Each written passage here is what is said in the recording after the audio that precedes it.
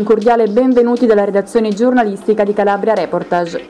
Grotteria. Un uomo di 53 anni è stato arrestato dai carabinieri a Grotteria per violenza sessuale su minore di 10 anni. L'arresto è stato fatto in esecuzione di un'ordinanza di custodia cautelare in carcere emessa dal GIP di Locri su richiesta della Procura. I fatti risalgono ad agosto. L'uomo, secondo quanto emerso dalle indagini, avrebbe avvicinato una bambina extracomunitaria di 7 anni. Approfittando della lontananza della madre, l'avrebbe baciata e palpeggiata.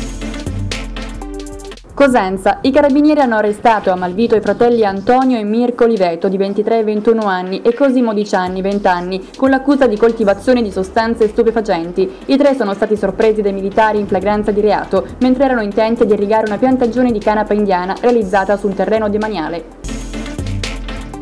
Catanzaro, Vittorio Sgarbi in una nota si dice pronto a rinunciare e chiedere in prestito i bronzi di Riace per l'Expo 2015 e questo aggiunge per il punto a cui sono le polemiche e in attesa del giudizio della commissione tecnica voluta dal ministro Franceschini. In questi mesi si è parlato più dei bronzi di Riace che di Cantone e per la prima volta della Calabria non per l'Andrangheta ma per i bronzi. Mi pare un buon servizio per Milano, per i calabresi e per l'Expo. Reggio Calabria aveva nascosto in vari ambienti della propria abitazione più di 50 grammi di marijuana. Un diciottenne DP con precedenti penali è stato arrestato e posto domiciliari dai carabinieri a Reggio Calabria con l'accusa di detenzione ai fini di spaccio di sostanze stupefacenti.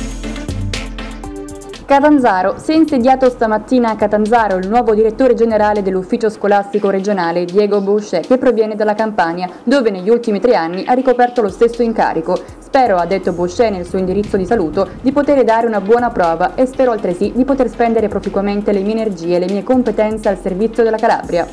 Questa era l'ultima notizia curata da Calabria Reportage. L'informazione torna più tardi.